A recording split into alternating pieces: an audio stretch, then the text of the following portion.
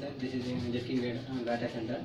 Actually, data center is a centralized location where the, all the where all the servers will be placed to uh, to remote access, to remote access and storage purpose. This is the structure of the data center. We need to first of all I, I need to explain about the structure of the data centers. This is a Jetking data center. Here we can see the servers placed. These are the rack servers. There are three types of servers: uh, tower server, rack server, and blade server. These are the rack servers.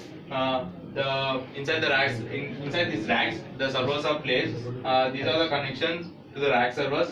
To enter into the Jetking, there are many security levels. Uh, there is a biometric check checkup, body scanning, and etc. Uh, these are the cooling fans. From this cooling, from this cooling, we, we get the cool air to the servers from this panel, and the hot air evolved from these uh, servers will be get back through air exhausters. My And friend, Major thing is uh, power cut, sir. We didn't uh, cut power even second also. We have we have a two uh, two types of connections, and one is uh, we take directly take from uh, service line uh, to the transformer and power station, and we connect to the power room and uh, backup. We have a backup that is uh, generators. Uh, we have a number of numbers of generators, and we will directly connect to the server room, service room, and. Uh, we have thousands of liters of uh, uh, uh, backup we have in underground. In these racks, thousands of servers will be placed, and each, uh, to each rack, two to three hundred companies will have access.